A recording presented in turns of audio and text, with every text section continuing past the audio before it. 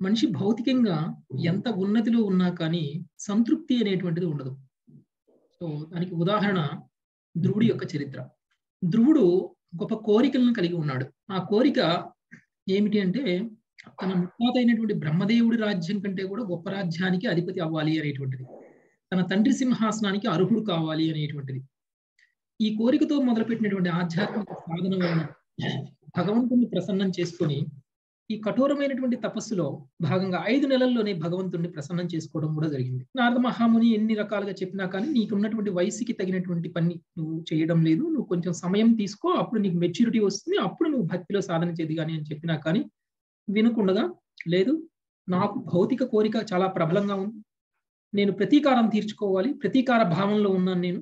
కాబట్టి నాకు నేను కావాలి అనుకున్నది పొందడానికి అవసరమైనటువంటి సాధన ఏమిటో నాకు తెలియజేయండి అని అన్నారు. నారదుడు లాంటి గొప్ప గురువు దొరికారు ధ్రువుడికి. సో నారదు లాంటి గొప్ప గురువు యొక్క మార్గదర్శనంలో ధ్రువుడు సాధన చేశారు. సో సాధన చేసిన తరువాత భగవంతుడు చాలా ప్రసన్నుడయ్యారు. సో భగవంతుడు ప్రసన్నుడయ్యి ప్రసన్నుడైనప్పుడు మరి ధ్రువుడికి భగవంతుడు తన శంకుతోటి తన నుదుటి మీద టచ్ చేశారు స్పర్శించారు. అప్పుడు తనకి వేద జ్ఞానం మొత్తం కూడా వచ్చేసింది. సో ఆయన స్థుతించారు సో భగవంతుడి యొక్క గొప్పతనాన్ని మొత్తం కీర్తించేశారు. ఈ సాధన అంతా అయిపోయే సమయానికి ధ్రువుడి యొక్క ఆలోచన విధానం కూడా మారిపోయింది. అంటే భౌతికమైనటువంటి కోరికలతోటే భగవంతుడి దగ్గరికి వచ్చినా కానీ సాధన కంప్లీట్ అయిపోయేసరికి భౌతికమైనటువంటి కోరికలు ఏవైతే తను కోరుకున్నాడో అవన్నీ కూడా తుచ్చమైనటువంటి కోరికలు అనేటువంటి భావనలోకి వచ్చేసాడు సో భగవంతుని సాక్షాత్కరించుకున్న తర్వాత తనకి వేరే ఏది కూడా అంతకంటే గొప్పది అని అనిపించలేదు. అందుకనే భగవంతుని ఏం కోరుకుంటారు? ఎప్పుడూ నేను నీ సన్నిధిలో ఉండేలా ఎప్పుడూ నేను నీకు భక్తియుత సేవ చేసే లాంటి ఒక వాతావరణాన్ని నాకు కలుగజేయి. నాకు భక్తిలో పతనం చెందకుండా నాకు శుద్ధ భక్తుల యొక్క సాంగత్యాన్ని ఇవ్వు అనేటువంటి విషయాన్ని కోరుకు అయితే భగవంతుడు మరి మనసులో ఉన్న కోరికలను కూడా తెలుసుకుంటారు కాబట్టి మనసులో ఉన్నటువంటి కోరిక అయినటువంటి బ్రహ్మదేవుడి రాజ్యం కంటే గొప్ప రాజ్యాన్ని ఆయనకి ఇచ్చేశారు అంటే ఇప్పుడు చూడండి ధ్రువలోకాన్నే ఆయనకి ఇచ్చేశారు ఆ లోకం చుట్టూ కూడా మొత్తం లోకాలన్నీ కూడా తిరుగుతూ ఉంటాయి. సో అలాంటి ఒక లోకానికి అధిపతిని చేశారు ధ్రువుడికి. ముప్పై ఆరు వేల సంవత్సరాల పాటు తన తండ్రి యొక్క సామ్రాజ్యానికి రాజుగా కూడా ఉండమని చెప్పేసి అంగీకరిస్తారు.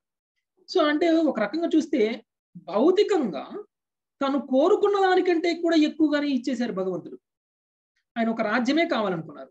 ధ్రువలోకం కావాలనుకున్నారు. ధ్రువలోకాన్ని ఇచ్చేశారు. తండ్రి రాజ్యం కావాలనుకున్నారు. తండ్రి రాజ్యము ఇచ్చేశారు.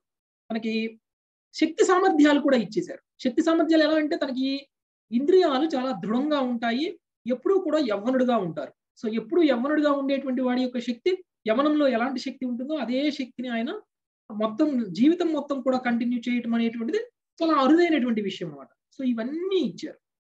మరి భౌతికంగా ఇంత ఉన్నతిని సాధించినటువంటి వ్యక్తికి అసంతృప్తి ఎందుకు? సో ఆయనలో ఉన్నటువంటి భావన అప్పటికి ఏమిటి అంటే భగవంతుణ్ణే సాక్షాత్కారం చేసుకోగలిగినటువంటి నేను అష్టాంగ యోగులు సైతం వేల వేల సంవత్సరాల పాటు జన్మల జన్మల పాటు తపస్సు చేసి కూడా భగవంతుని సాక్షాత్కరించుకోలేకపోయారు వాళ్ళు.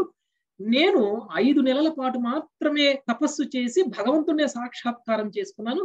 కానీ నేను పొందింది ఏంటి? నేను పొందినటువంటిది తుచ్చమైనటువంటిది సర్వజీవులకి మోక్షాన్ని ఇవ్వగలిగినటువంటి భగవానునే దర్శనం చేసుకోగలిగిన నేను.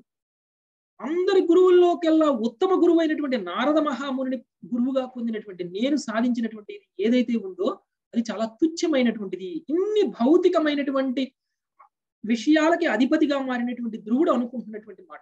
ఎంత భౌతికంగా ఉన్నతిలో ఉన్నా సరే మనకి అసంతృప్తి అనేది ఉంటుంది అనడానికి ధ్రువుడు యొక్క ఫీలింగ్సే మనకి ఒక ఉదాహరణ. ఆయన ఏమంటున్నాడు? ఎవరికైనా సరే ముక్తిని ఇవ్వగలిగినటువంటి భగవంతుడి దగ్గరికి వెళ్ళి నేనేం కోరుకున్నాను? నాకేం దక్కింది? శక్తి. మళ్ళీ సామ్రాజ్యం మళ్ళీ ధ్రువలోకం.